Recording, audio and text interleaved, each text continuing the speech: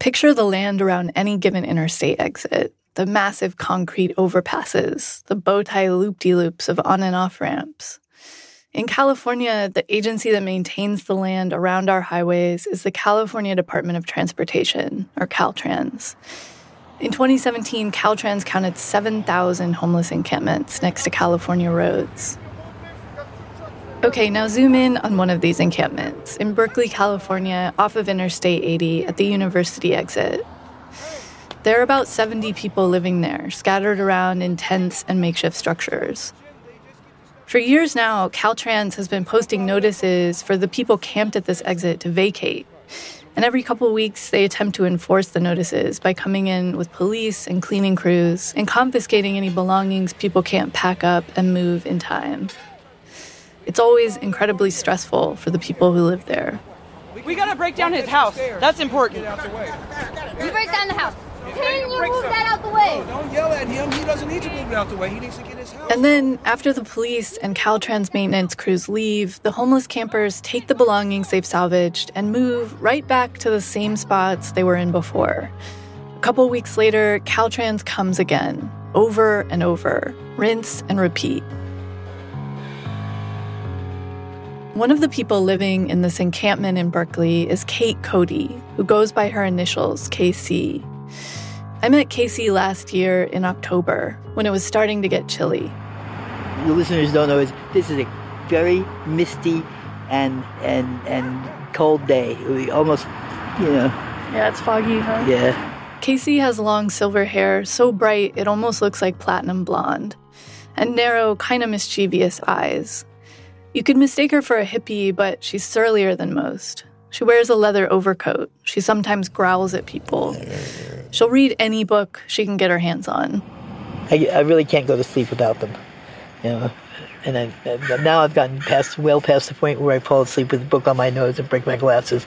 the last time Caltrans came through for a sweep of the encampment, a bunch of Casey's belongings were thrown into a dump truck. But she saved some precious items. And when you lost all your stuff, from when Caltrans, did they get books or? Uh-uh. they were buried in with the beads. She saved her books and her beads. Casey makes beaded jewelry that she sells in an Etsy store. But Caltrans threw away her tent and her bed. For a couple weeks after that, she slept under a cast aside boat sail. Now she has a new tent, which she's set up on the shoulder of the off ramp right next to the stop sign. And she'd like to be left alone, do you think that the city should, like, that anyone has the right to camp if they don't? No, have... but to, to, all we want to know is we don't want to break the law, but we have to live someplace and have to sleep someplace, just like I need to live. And what were Casey's options besides living in a tent next to the highway? She seemed to feel that renting her own apartment in Berkeley was completely out of reach. You know, there's, they're, they're renting, they're renting not apartments, they're not bedrooms, beds. Mm-hmm for twelve hundred a month near the college. Twelve that's outrageous. Casey had about $900 a month coming in through Social Security, and it did seem unlikely given her age, 66, and the fact that she can only walk very slowly using a walker, that she was going to be able to get a job to increase her income. She tried staying in shelters, but hated the lack of privacy. I just can't, I cannot handle that at all.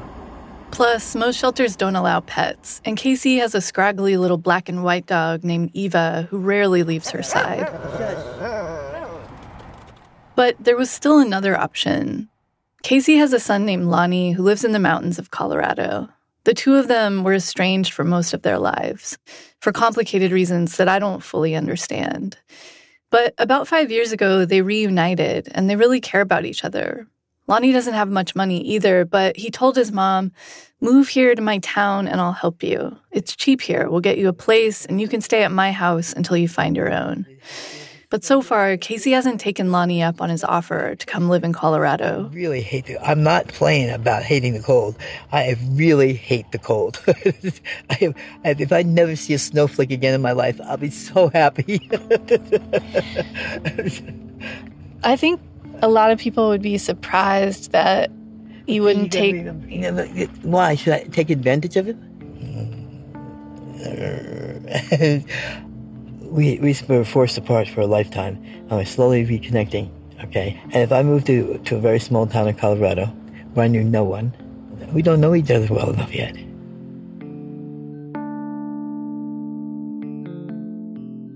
Casey told me that she thought of Lonnie as an escape hatch, but if she wouldn't use her escape hatch to escape the constant sweeps by Caltrans or the difficulty of living 10 feet from a busy interstate off ramp, it was hard for me to imagine when she would use it.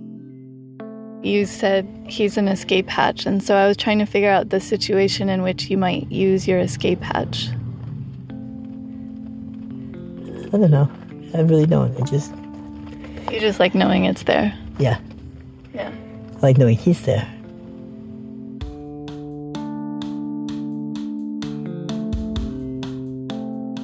When Casey and I had this conversation, I didn't think anyone would live in a tent by an interstate if they had another option.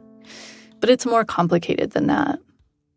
What I came to believe is that, in general, people are where they are, not necessarily because they literally have no other choice, although for some that is the case, but because, like any human making a decision, they weighed out the choices, and a tent by the side of the road seemed the least bad. I think it's why you do occasionally hear people say, I chose to be out here, which, by the way, you do hear sometimes. I believe what people mean is, I chose this off a short list of lousy options. But there's still agency in that, and agency is precious. In any case, for KC, the encampment was the best of the lousy options for reasons I was just beginning to understand. In fact, for Casey, what the camp provided to her was so important that even when she was found to be vulnerable enough to make it to the top of the list and be offered a new way out, it would be hard for her to accept it. This is According to Need, Chapter 5.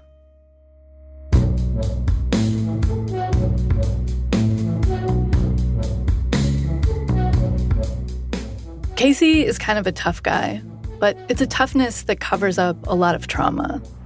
I get emotional. I get, I get, I cry about everything. I've seen I'm happy. Yes, I know. I, I just, and I feel very bad because then, then it's like you know, blew my cover.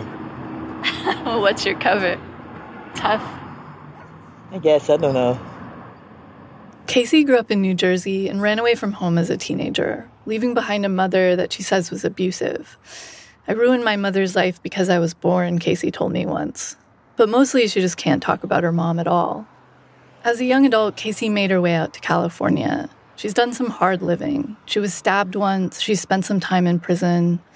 She was addicted to heroin, although she hasn't used in seven years. I'm still a junkie. That doesn't change. It's a physical thing. It doesn't change, and all I have to do is three days in a row, and there I am. You know. For much of her life, Casey had steady housing and income as an in home health aide. But she's no stranger to unconventional living situations, and to some degree, she's welcomed them. She's lived in warehouses and school buses, and for a long time, she lived in a community of people that built little wooden shacks on top of an old landfill right next to the bay. Don't picture a dump, though. There were some chunks of concrete and rebar scattered around, but this landfill had mostly been covered over with crabgrass, and from its windy shores, you could watch the sun setting behind the Golden Gate Bridge. Casey was kind of a queen bee among the landfillians, as they called themselves. Her neighbors respected her, and she felt like she had a role there. I found a film from that time on YouTube. It's less than 10 years old, but Casey looks so much younger and healthier. Then just fill this big, huge pot. Her cheeks are plump and rosy, and she's moving around easily as she cooks a big meal for everyone in the outdoor kitchen. I had taken the chicken the chicken breast fillets and I pounded them out and stuffed them with cornbread and, and sausage stuffing. And I'm baking them and I serve them with a white gravy and salad. In this clip, she was making food for a birthday party they were throwing for Chompy, one of the landfill's many dogs.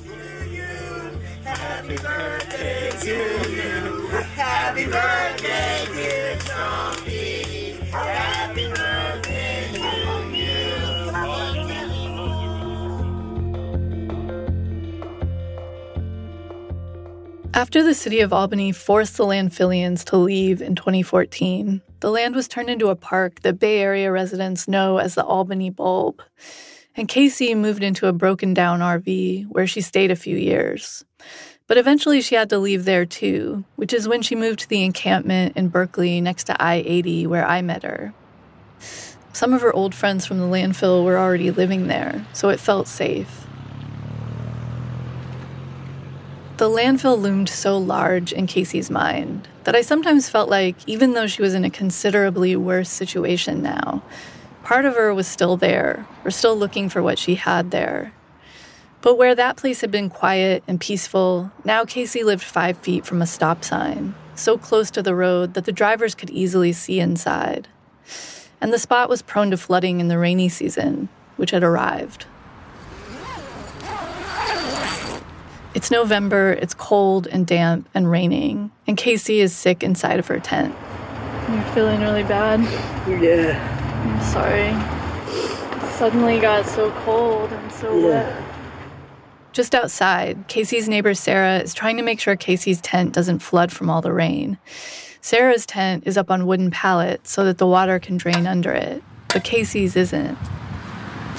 Why is it draining to the tent? Hey. Hi. Ugh.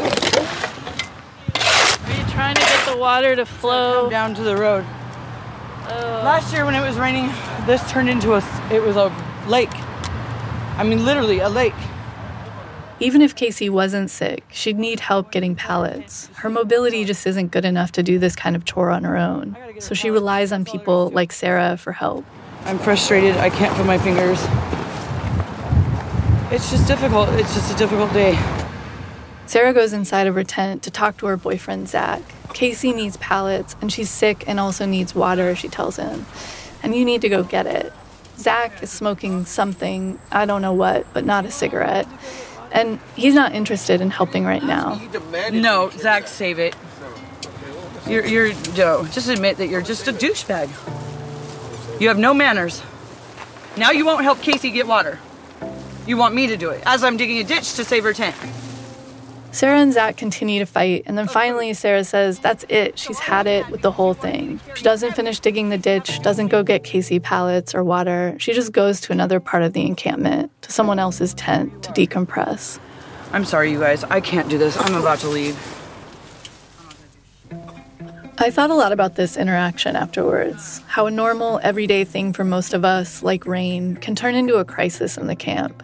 These little crises happen constantly. It means that everyone is stressed all the time and people fight, and sometimes even people with good intentions, like Sarah, just don't have the bandwidth to do what needs to be done. Researchers have actually studied this the way stress and scarcity erode our ability to make good decisions and solve problems. It's a thing. Still, eventually someone will get Casey water. If her tent floods, someone will help. Casey depends on her neighbors in the encampment for everything. Neighbors run to the store for her and bring her food. Her friend Sid cleans her tent for her. Sometimes it's just friends being friends. Other times she barters with people. It's hard for Casey to get rid of her own garbage, for example. The guy who comes to pick up my recycling takes my garbage with him. It's a deal we have. it is. It's a deal we have. What, what what does he get out of the deal? He gets the recycling. Oh, he gets like your cans and stuff. Yep. Yeah. Look, I don't want to romanticize encampments. They're hard places to live. People sometimes steal from each other and fight. But they also share resources and look out for each other. Encampments definitely are communities.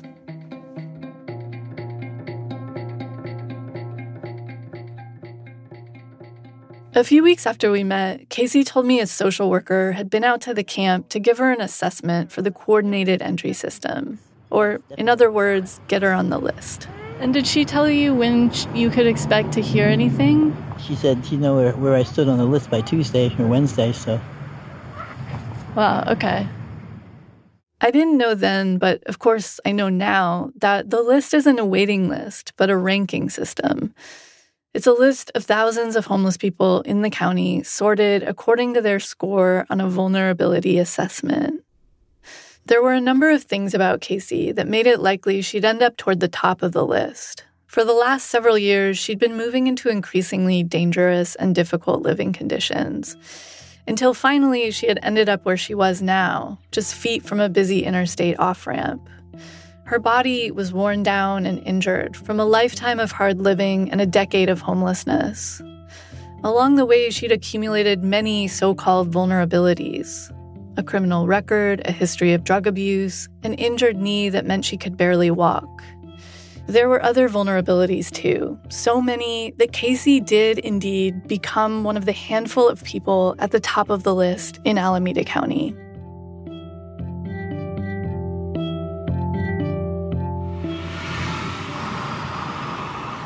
Do you have AC in here? Yeah, do you want me to turn it on? Yeah, can we do that instead of windows just for the um, sound? I'm riding around in the car with Mukund Raguram while he runs errands. Mukund is a caseworker at Casey's doctor's office, a place called Lifelong Medical Care. 600 feet, turn right onto 41st Street.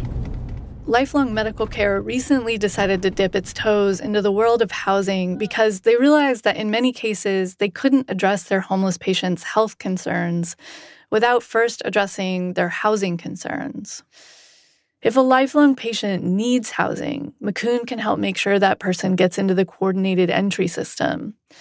But then he just has to hope they make it to the top of the list. They don't always, even people in really difficult circumstances, which is frustrating. I am frustrated because I have a, a patient with Parkinson's who is sleeping outside right now, and he's not eligible for any permanent supportive housing.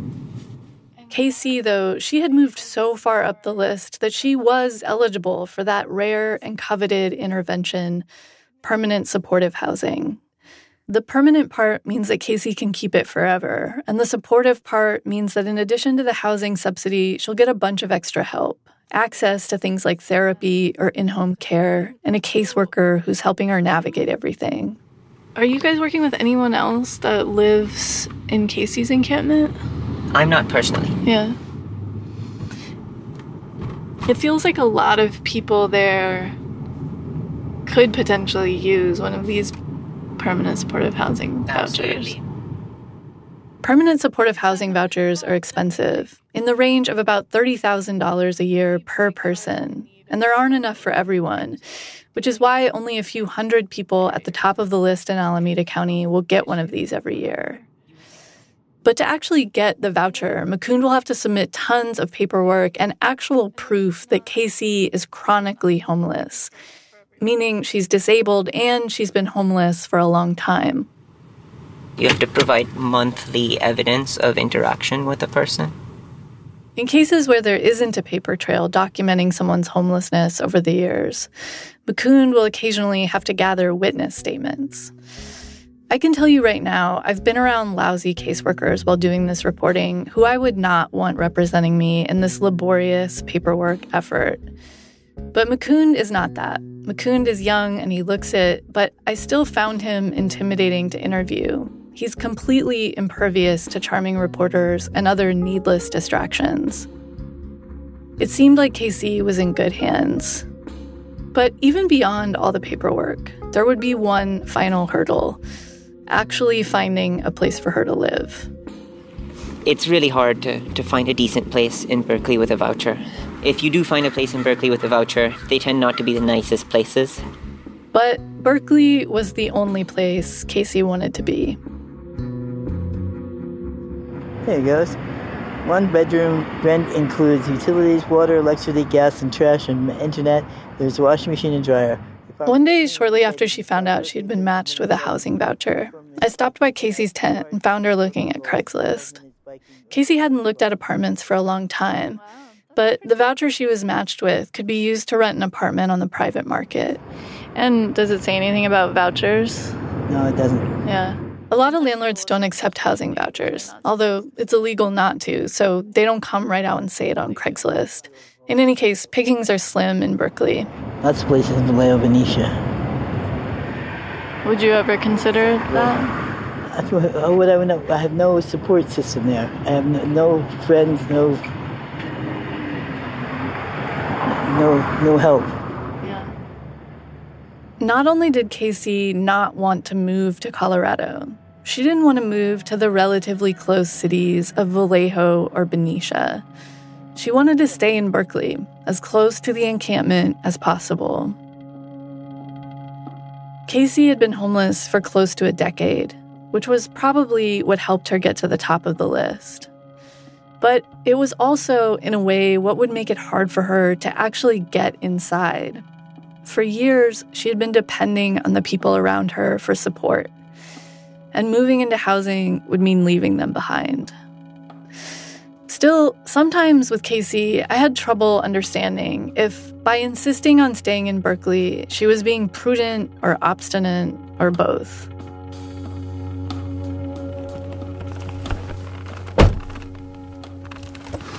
I mean, do you ever, like, I'm back in the car with Mukund, trying to get out an awkward question. When someone is, is, is unhappy like that, do you ever feel like they're being they're being too picky? I think it's natural to feel that sometimes.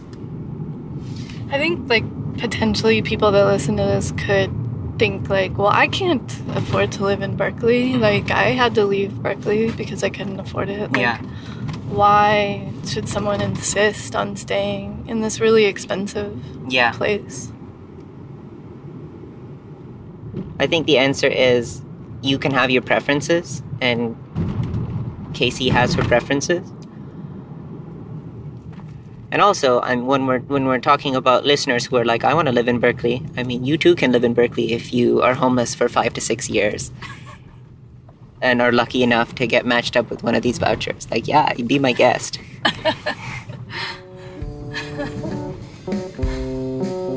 Point taken. Right. Like this this is not the kind of opportunity that that you live a happy life and still receive.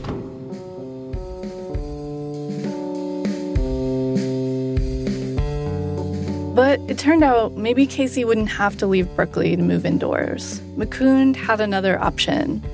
He'd found an apartment that he thought could work for Casey in a place called the Amistad House. It's a building for seniors and disabled adults. And if they could get all the paperwork together, Casey could get what's called a project based voucher, meaning the voucher was still permanent, but it would stay with the building. So if she decided to leave that place, she'd lose it. That was a downside. But Mukund said the building was beautiful and well maintained. And best of all for Casey, it was in Berkeley. The next time I see Casey, she's in her tent, sitting slouched on her bed with a bunch of tarot cards spread out in front of her. She looks worried, and she says she has reservations about the Amistad. So tell me what your reservations are about the. Oh, I just think I, my, my music is too loud. I'm too loud. but you're gonna try it? I've been there. I've been, yeah, I know will try it. That, that, that means I'll be back out here again. Because you think like you might get kicked out of there? Is that what your worry is? Yeah, always. Always. Have you gotten kicked out of other places for being the wrong kind of tenant? No, because I never lived in those kind of places. I just can't see me doing the things I want to do. And you don't feel willing to kind of adjust your lifestyle to this new place? Adjust my lifestyle? You mean change who I am and what I do? Uh, I don't think I can do that. Well, just not change who you are, but maybe change the level, the volume at which you play your music, or something like that. That's not a problem. That that's not a here nor there. Casey seemed worried that her lifestyle wasn't going to be a good fit for the Amistad. But really, 90% of the time when I stop by her tent to see her, she's just sitting in it alone, reading, not partying or playing loud music or anything like that. To me, it seemed like she was scared, coming up with reasons it wasn't going to work, breaking up with them before they could break up with her. But it worried me. I didn't know if Mukund would be able to find her another apartment in Berkeley, if not this one, or if she would ever agree to leave this hard place she thought of as home. Casey? Yeah? Hi. Hi. How you doing? Do you do you mind if I come in for a minute? A couple weeks after Casey first told me she wasn't sure she wanted to move into the Amistad, I stopped by her tent to see if her feelings had changed at all. She said that Mukund had been able to calm some of her fears. So he was reassuring. What did he say about it? Well, they, they, they want someone to help me get this thing running so I wouldn't have to be stuck inside this all the time.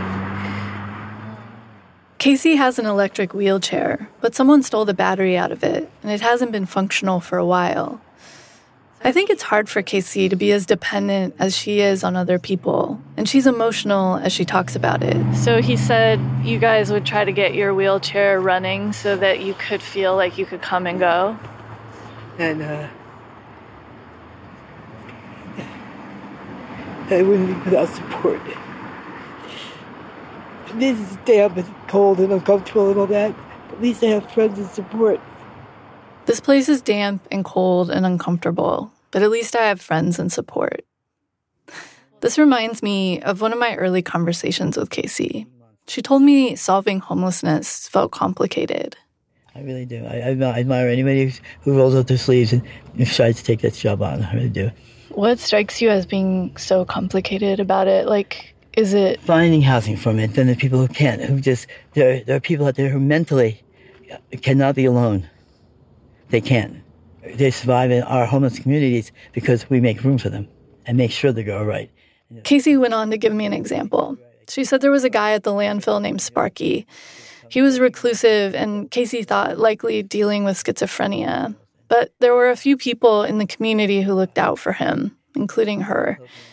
He would sometimes come into her house wet and cold, and she'd have a pair of pants for him and clean socks. You can't, you can't just discard people because, look, if you have a set of priceless dishes and one plate has a fine hairline crack in it, and you know that that you don't give that to just anybody sitting at the table. You don't send it to the kids' table, you know.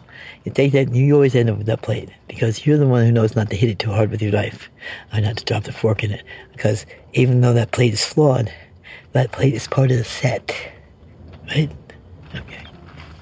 And that was Sparky? That was Sparky. That was Sparky, but these days it's also Casey. Casey survives with a lot of help from the people around her. She needs a lot of care, and she has to be handled somewhat delicately. Fine china with a crack in it is a pretty good metaphor for vulnerability. The intervention that works for people who need a lot of extra care, people like Sparky and Casey, is fortunately the exact one Casey was matched up with. Permanent supportive housing with no sobriety tests, no barriers. It's the approach that Sam Tsemberis developed all those years ago in New York and that Mukund is now carrying on here in Berkeley.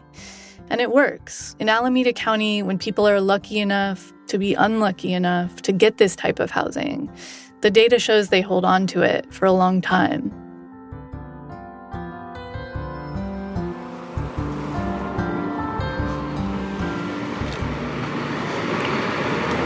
Hello. Hi, Casey. Hi. The process of getting Casey the apartment at the Amistad was a long one. Lots of paperwork, lots of back and forth between Casey and Mukund. And I don't know that there was an exact moment when Casey finally decided she was going to accept the place. I think it was more the Mukund inched her there little by little. And now it was finally almost time to move in. Dropping off the check next Wednesday, move in the Monday after that. So uh, I don't think I got a chance to tell you the time. It's at 11 a.m. is when we're signing the lease. Casey was still scared, but she was also excited and genuinely grateful to Mukund. She told me she knew she had not always been easy to work with, but Mukund had stuck by her, steady and patient. Like you're in good hands. Then I just wanted to make no. sure that that you didn't. I didn't know it, but from the, the from the day I asked you about housing, I was in good hands. I didn't know it then. I do now. Thanks, Casey. You're welcome. Call me anytime. You're getting less anxious and more happy all the time. That's it's really very good. dangerous. Mukund told me that if Casey had turned down the Amistad, there might not have been anywhere for her to live in Berkeley. And then they would have had to talk about what was more important to her housing or staying close to her community. And maybe Casey would have actually chosen to stay homeless in the encampment. I don't think everyone would make that choice, but I think there's a good chance Casey would have. And Mukund said he would have had to let go of his own feelings about what she should or shouldn't do.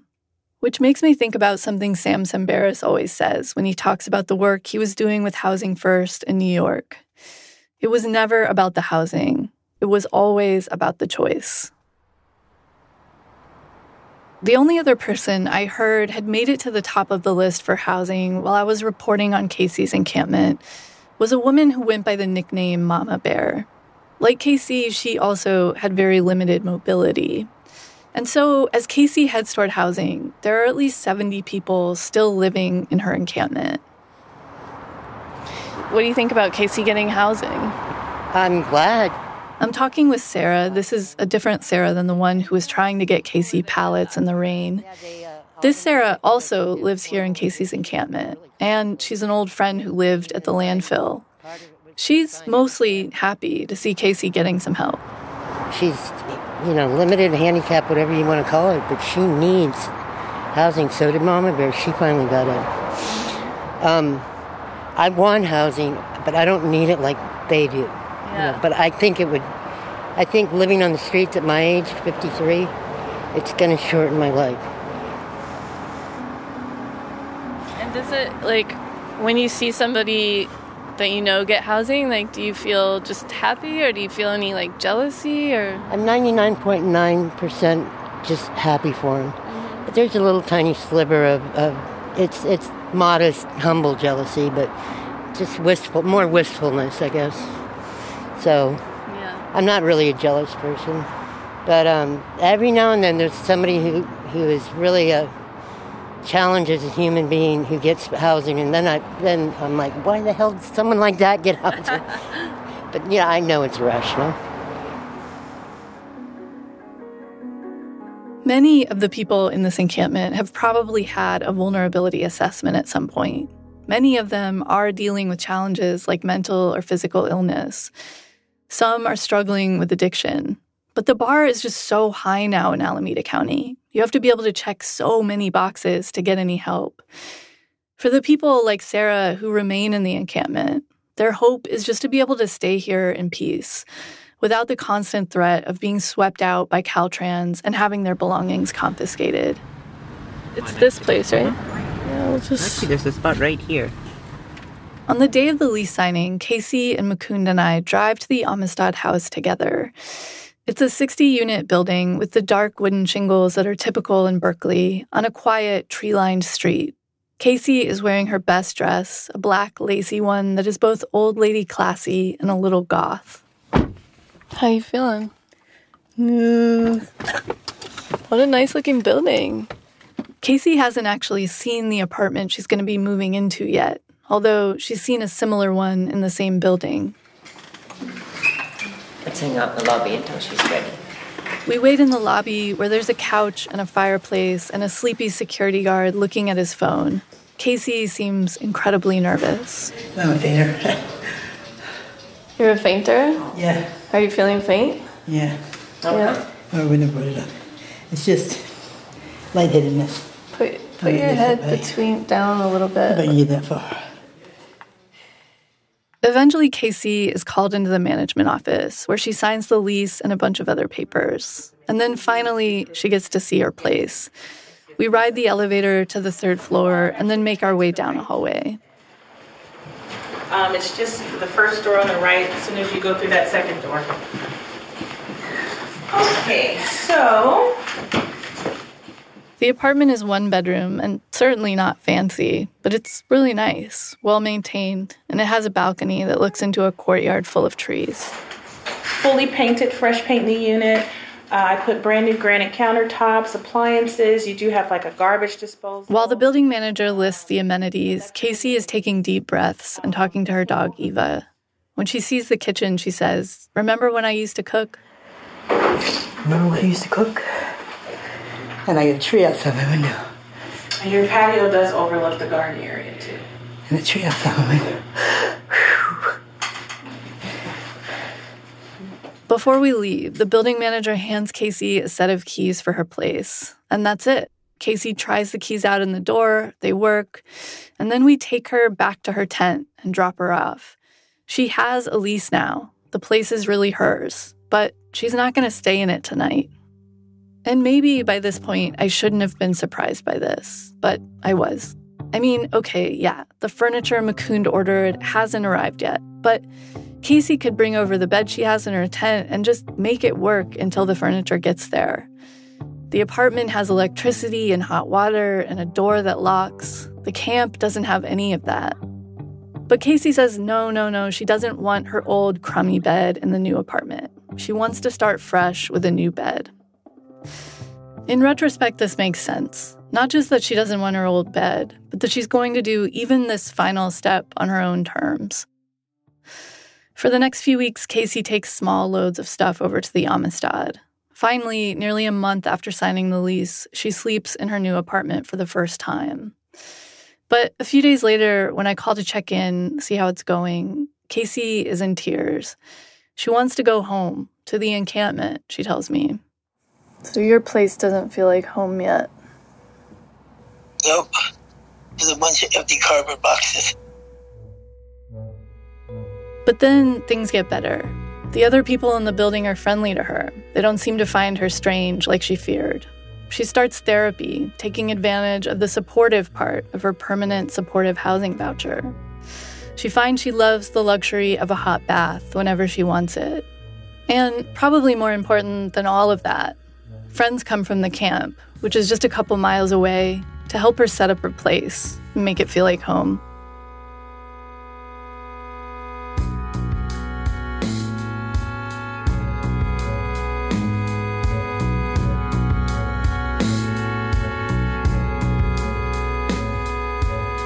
After the break, some final thoughts and updates about the people you met in this series.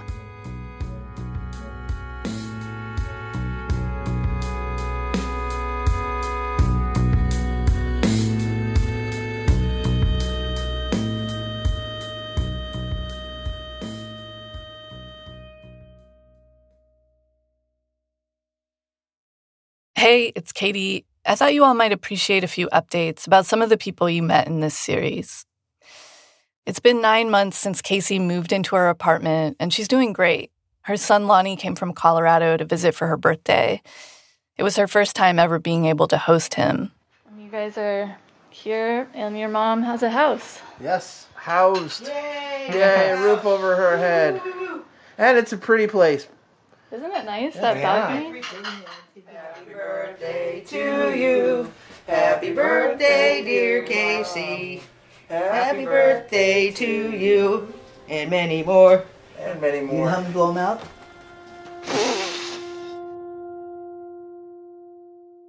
A lot has happened back at Casey's old encampment, too. The people living there decided next time Caltrans crews asked them to move, they weren't going to comply. Instead of grabbing all their stuff and moving like they always did, the plan was to stay put in their tents. I have some tape of the day they decided to try this. Caltrans workers had arrived at the encampment in a procession of dump trucks accompanied by the highway patrol. And the residents of the encampment were in a kind of standoff with them. Hey, Osha. What's going on over here right now? Uh, I don't know. I was standing with Osha Neumann, an 80 year old lawyer who's advocated for the rights of homeless people in Berkeley for decades. He's known Casey since her days living at the landfill. Back when everyone was forced to leave that community, Osha was there helping them fight to stay. Over the years, he's watched these encampment sweeps and evictions countless times. Are there always this many uh, of them? Of the Caltrans people and the highway patrol people? There are always this many Caltrans people, yeah. I am thinking they're leaving. They are leaving. They're leaving. I'll be damned. They're leaving. They they aren't going to move people. They're leaving. They, this was bigger than they expected. This is kind of incredible. They're leaving.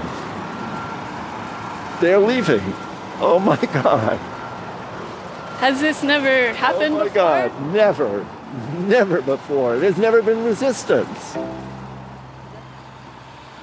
They're leaving. Oh my God. Oh my God. Tell me why this feels so big to you. Oh, it's incredible. It never has happened before that people have resisted. That the people on the street resisted and won. It just has never happened. They've always moved. Every time they've been pushed around, they've moved, they've moved. And this time they won't. But aren't they just going to come back next week? Who knows? Of course. You never have a one victory that's the final. The war is never over completely. The war, in fact, lasted several months. There were meetings and negotiations, and ultimately a city council vote.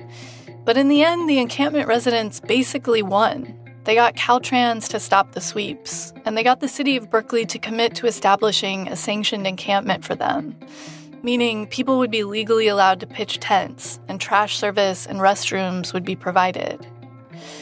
So far, the sweeps have stopped, but the plans for a sanctioned encampment seem to have stalled out since the start of the pandemic. Who else? Michael, my neighbor who lived on the boat. He actually left the boat and moved into a program that he's hoping will eventually get him connected to housing. If you heard the Housing First story, you probably remember me talking about what all housing programs used to look like the staircase model, where you have to be clean and sober to graduate each next step. That's the type of program Michael is doing now. They still exist and they're generally led by faith based organizations and don't receive funding from HUD. Michael is hoping he can stick with it and make it into housing. And lastly, there's Talisha and Jordan. Hi, Katie. I am. Okay, you talk. Can't Say something. Uh, I can't. It's, it's, you could just talk. You could pick it up. There's actually been a pretty big development in Talisha and Jordan's story.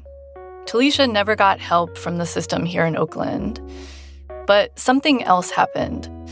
So, eight years ago, before Talisha was even homeless, she put her name on a bunch of wait lists for Section 8. Section 8, or Housing Choice as it's now called, is a government subsidized voucher that you can use to rent an apartment on the private market. You don't have to be homeless to get Section 8, just low income. And last December, Talisha found out her name had finally come up on one of those wait lists. So now, since he know and I know this is what we have to do in order to stop being homeless and sleeping in a car and going from house to house to family members and different people, this is what we have to do. But here's the wild part. The Section 8 voucher that Talisha got was for Louisville, Kentucky, a place she had no connection to. She had only put her name on the waitlist there because it was one of the few that was open in the whole country. Talisha felt she was completely out of options in Oakland, though, so she decided to leave. I don't know if I can possibly convey how unique and difficult this decision was. Despite the Bay being so expensive, I almost never met homeless people who were thinking about leaving. People in poverty depend intensely on their communities for support. Leaving rarely seems to feel in the realm of possibility. But Talisha had decided she had to try. And we just been talking and thinking about all the stuff we're about to go through and travel and stuff and Yep. We can't do this anymore. I can't take it because people's go put, put us out. I'm tired of people putting us out. Yeah. And so, in March of this year, as the coronavirus descended on all of us, Talisha and Jordan started a whole new journey. This recording was made just a couple days before they left. And that's it for now, Katie. Say peace. Say 99. 99. Invisible. Invisible. Here we come. Here we come. Kentucky, Louisville. Kentucky, Louisville. 48 hours. 48 hours. Our journey starts. Our journey starts. God protect us. Not again. Not again? Okay, he don't want to say God protect us from COVID-19.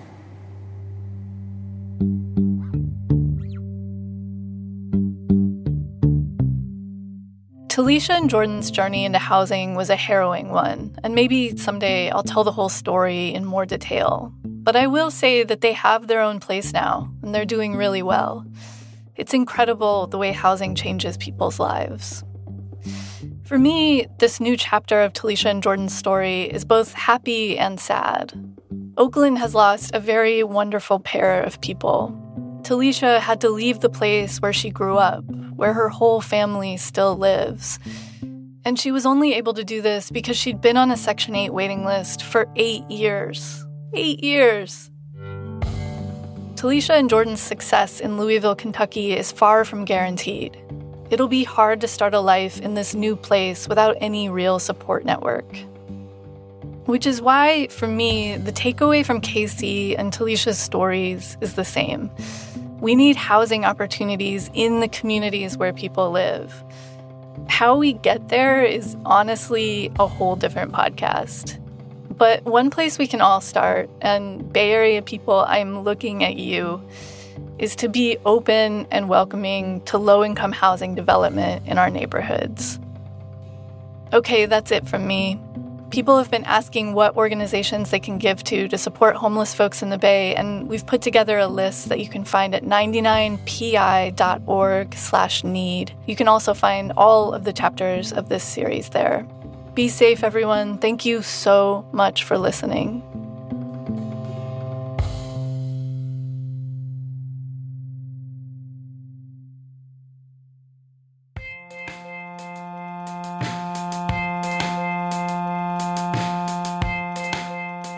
This chapter of According to Need was produced by me, Katie Mingle, with associate producer Abby Madan and managing editor Whitney Henry Lester.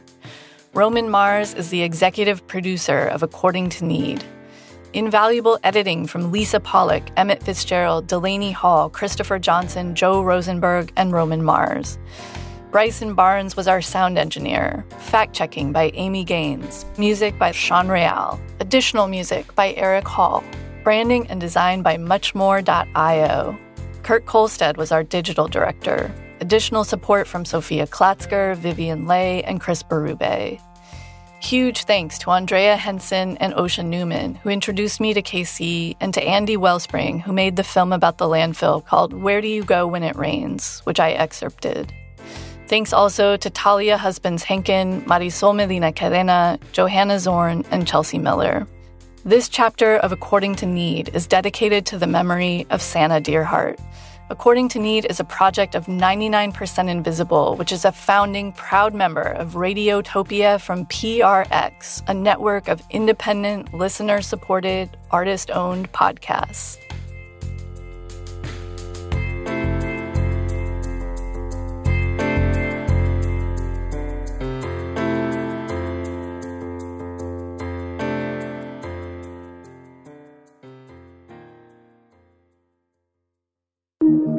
Radiotopia.